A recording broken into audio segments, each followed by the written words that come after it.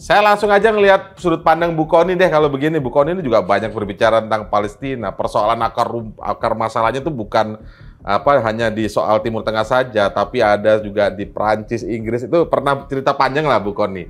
Tapi Bu Koni untuk yang kali ini soal Hamas Fatah disatukan di Cina. Hamas Fatah ini kalau tidak salah pecah sejak uh, 2007 kalau 2005, 2005 mulai 2007 ya, ya. Tuh. Nah, sekarang Cina Bu yang mengambil alih ini juga luar biasa nih. Sering kali kita dengar juga penjelasan Bu Koni tentang kekuatan Cina dalam geopolitik dunia ini sekarang ini ya.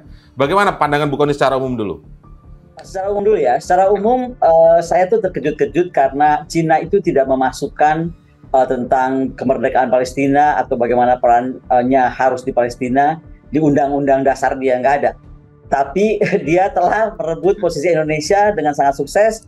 Bukan saja selesai dengan mengama, meng, apa, mendamaikan Iran uh, Saudi ya, ya, tetapi sekarang masuk pada tahap sesuatu yang tidak terpikir. Hamas, Fatah dan 14 uh, eh, apa kelompok lainnya ya, betul, uh, di dalam, ya. deklarasi, dalam deklarasi Beijing. Karena kan ada 14 fraksi tuh. Hmm. Ada Jihad Islam, ada Front Rakyat untuk Pembebasan Palestina, ada Front Demokratik buat Pembebasan Palestina, Partai Rakyat Palestina, Front Perjuangan Rakyat Palestina, Gerakan Inisiatif Nasional Palestina, yeah. kemudian Komando Umum PFPLP Uni Demokratik Palestina, apa-apa tuh, Frida ya.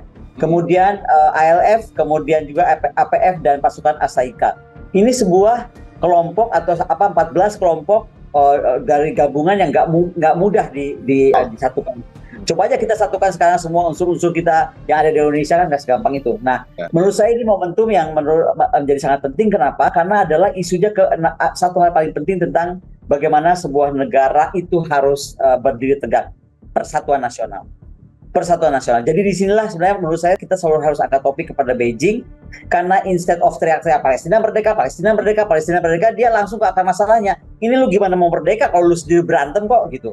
Istilahnya nih dua gajah bertempur kalau kita sebut Hamas Fatah aja ya. Itu yeah. kan dua gajah bertempur. Lalu ada ikutannya nih eh, di bawah-bawah gajah nih yang tadi uh, eh, FPLP, Jihad Islam Betul. dan semua. Jadi menurut saya uh, ini hal yang sangat kita harus apresiasi dari Beijing dan betul-betul uh, sebenarnya harusnya sih agak menampar kita ya. Kok kemarin Abraham Accord Amerika ya kan, kemudian Iran Saudi uh, itu oleh Beijing. Ya. Sekarang Hamas Fatah dan kawan-kawan juga oleh Beijing.